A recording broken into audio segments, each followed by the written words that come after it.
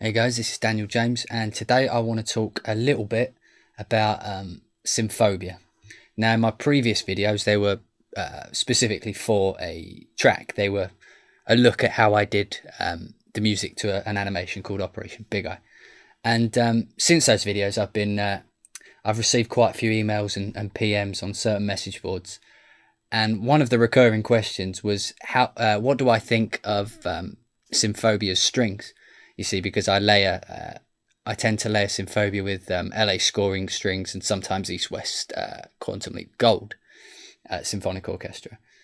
And um, so I thought I'd dedicate a video uh, showing specifically uh, Symphobia. Now, if I just play the track to you first and then we'll talk about it afterwards. Here it goes.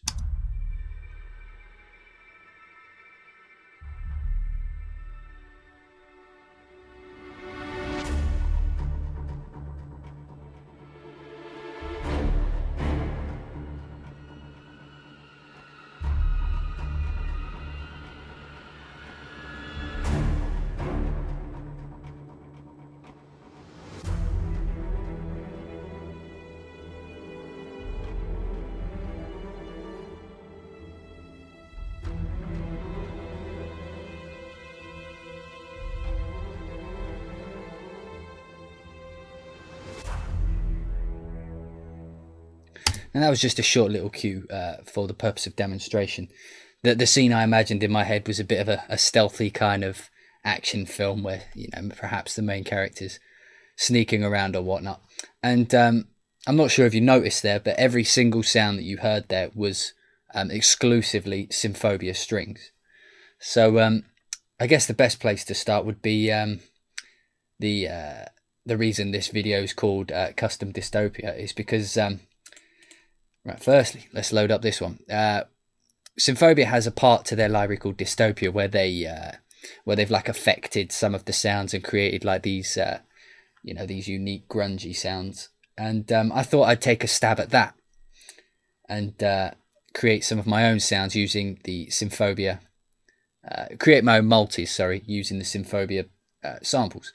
And um, one of the most important things when you're doing um, like sound design, sound design scoring, which is what I tend to do, is uh, the the source audio that you're using has to be very, very good quality. You know, you have to have a lot of sonic, um, a lot of sonic quality in the actual recording for it to sound good. And Symphobia stuff's spot on. So uh, the first first track I've got here is called Pulse. And if I just move this out of the way here and show you what it's playing, solo it out. So this is the MIDI information and this is what this sounds like.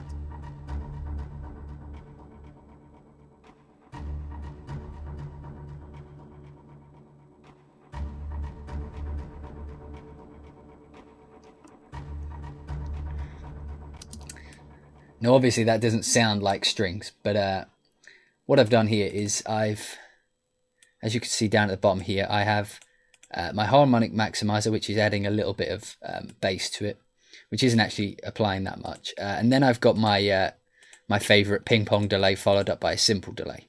So if I turn these off, you can hear what the actual sound sounds like.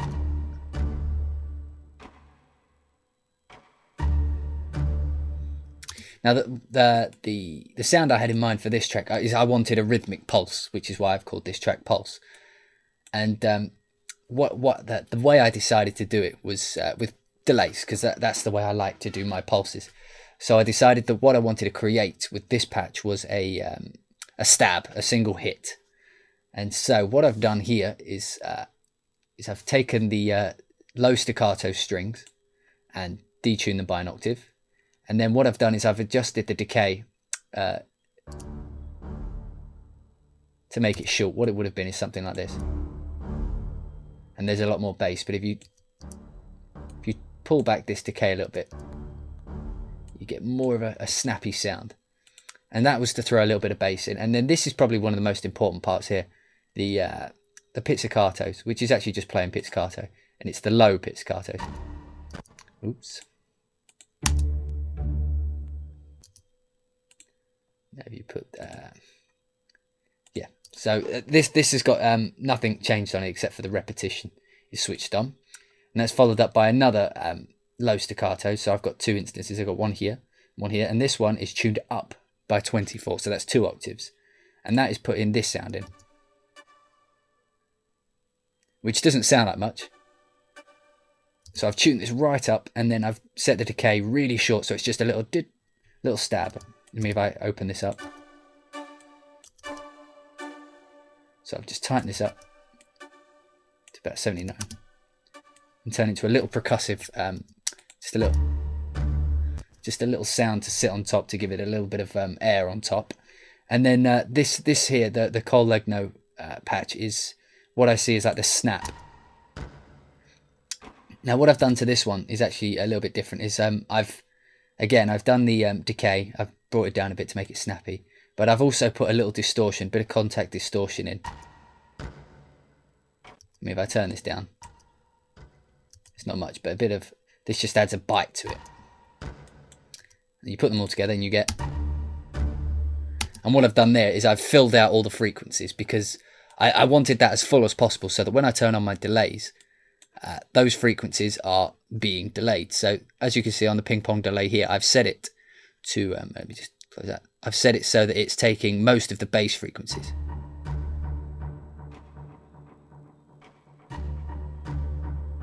And you get that nice, you know, just the, the low mids. And then if, if I turn on this uh, simple delay, you end up with the rhythmic pattern, which became the, uh, the rhythmic pulse of the track.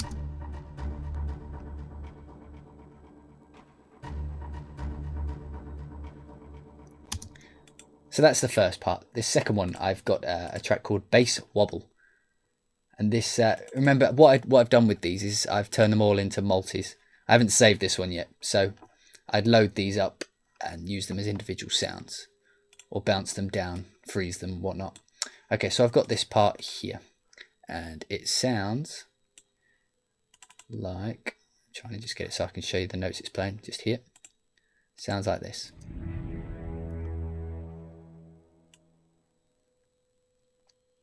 And the point of this one is to uh,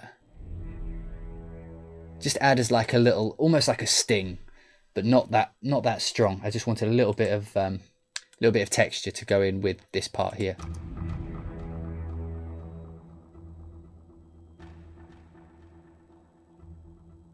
And then a little bit of texture.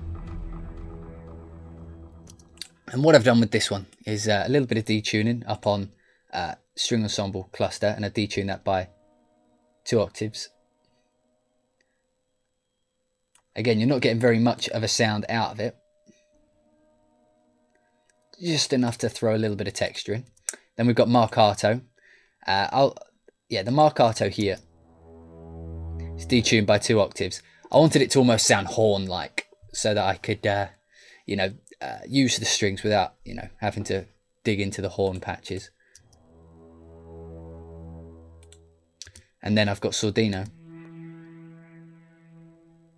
And now this one's a little bit different. It's uh, it's detuned by one octave, but I've also put a, a rotator on it, so you get that left-right sweep. Again, a sonic texture thing more than anything. Excuse me. And uh, fi- and, and finally, this is the um, this is the essence of the sound. It's uh, the string ensemble clusters and these are the short ones, and they're detuned by two octaves. Now if I just put these up normal, you hear what they sound like. You take them down by two octaves, you get a sweepy kind of... Again, important to note that on this one I've got distortion and the rotator again. But this one's uh, this is on the fast rotator. So it's just wobbling side to side. And like I say, this patch, uh, the sole purpose of this patch was to add um, sonic texture. What what I see a lot with um, with composition is people will um, in other people's compositions they'll write like uh, and I you know I, I speak from experience as well. I, I used to do this a lot. Is you would um, focus on just your um, you know your melodies and your harmonies and your rhythms, and you would leave it at that. Whereas I, I think it's very important that you actually add texture to the music, you know, just little sounds like this. It's a little sound that adds that oomph to the uh, to the overall sound, which lacks in quite a few tracks. And then finally, I've got a um, this track's called Sub Boom, and uh, you could probably imagine what this is going to sound like. So if I just show you here, move this out of the way. Oh, just so that.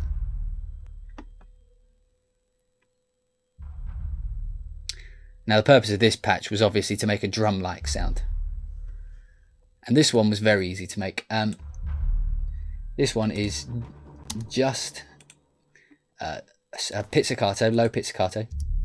There's the bass sound. And all I've done with this one is I've uh, tweaked the decay sustain a little bit and I've just pulled the low pass filter, which was already on it. I've just pulled that down to cut off the lower frequencies. It would have been up here somewhere. And then I've just pulled it down to here so that it's only the subs coming through, Could probably let a little, bit more through than that. And then uh, I've just detuned it. And then with every sub boom, you always need um, you always need something on top. You need the clack, the crack. Sorry. Um, and what I've done is again, I used the uh, I used you know a technique I used in the bass wobble, and that is uh, sorry in the pulse, and that's using the the Col Legno patch, which is that snappy sound, which sounds like this. Not like that. Sorry, that's got band pass filter on it. Just bypass that. So that's what the original sound was. So I detuned that by 12 and whacked a band pass on. Doesn't sound like much, but you put it in with the other one and it's the snap of a drum. Nice and simple. So um, what what I wanted to do there was show how easy it is uh, to create your own multis. All, what I, all I did was uh, load up an instance of Kontakt 4 and then just built the patch with all these and then uh, like I've done here. I didn't do it on that patch, and then just saved it as a multi. So whenever I whenever I decide I want this sound, not that sound because that's silence. Whenever I want this sound.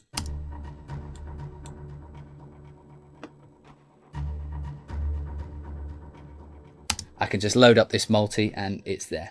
And I can freeze that track, I can bounce it down, I can do whatever I like with it. I can even swap out the sounds perhaps with brass but for the purpose of this video, I wanted to stick with strings. So there's uh, there's my multis that I created, and then um, what I've done here is augmented that with uh, some string effects and some string lines. So we just uh, take a listen to those.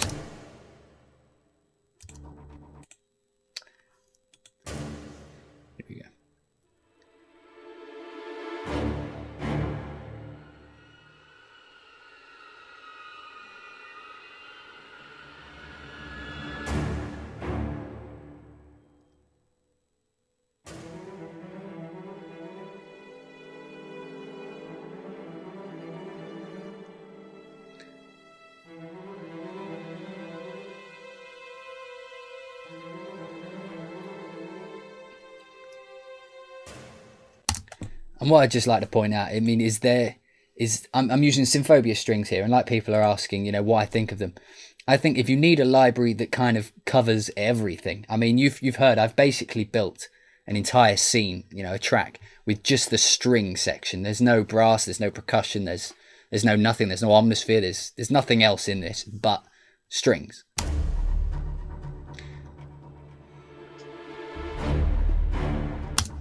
And if there's one thing that Symphobia's got, and it's got, and uh, you know that I think everybody uh, praises it for, is it's got that sound. It's got that kind of, uh, it's got that film Hollywood game sound, just built into the into the library, which is fantastic.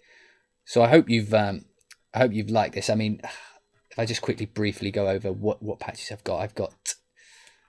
Um, so first off here, so again, I apologize for not naming anything. Um, here I have a tremolo patch, which I've uh, automated with the mod wheel. On the second layer here, I have, uh, which is up here for some reason, string ensemble staccato with piano. Now this patch is actually quite cool. Uh, whenever you play a low note, it, it doubles it up with a piano. Just play that for you, play it in.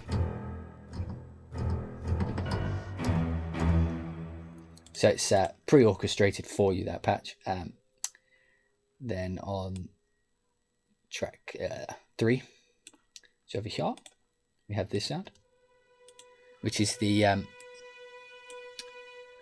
the string ensemble sustain soft. These uh, this is in in Omnisphere. Uh, the strings are set up in ensembles, so it's from the bass to the high notes, and then it switches in between, um, at, you know, good intervals. So uh, the soft patch is actually really soft dynamics, which I actually use a lot more than the um, the regular ones. So you drag these down. These, I mean, these these strings by themselves can carry a scene.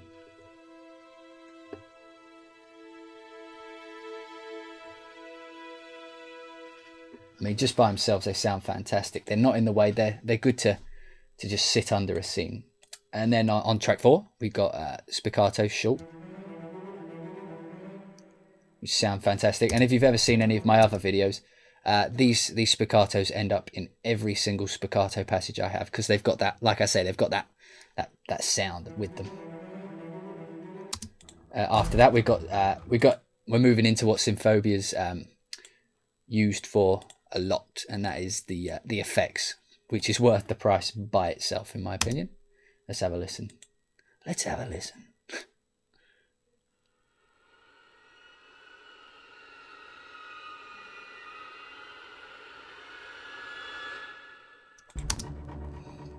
And for those of you who are um, unaware what the effects are, they're pre they're pre orchestrated, pre recorded, um, not loops, but they're like sounds. They're these uh, effects and if you try to make these effects with within a, a sample library, you, you, you, you couldn't. It, it wouldn't sound right. Whereas when you've got them pre-recorded, like they are in Symphobia, they they add that extra sense of realism. So let's have a listen to the. Uh, this is. they sound beautiful. That's uh, string ensemble clusters, and I'm using that to double up with, uh, with my piano up here. adding that extra little bite of tension. Layer 7. Doop doo doo. Uh, cluster. Uh, the cre dim means it crescendos, then it diminuendos. I probably pronounced that incorrectly, but uh, so it builds and then it quietens.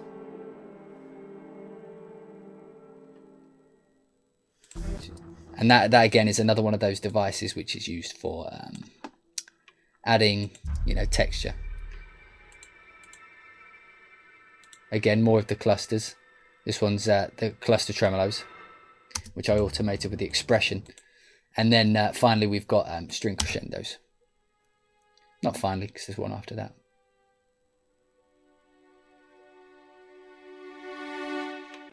Fantastic. And then uh, on number 10, the again, this would be like the fourth time is the Col Legno patch, which is the uh, snaps.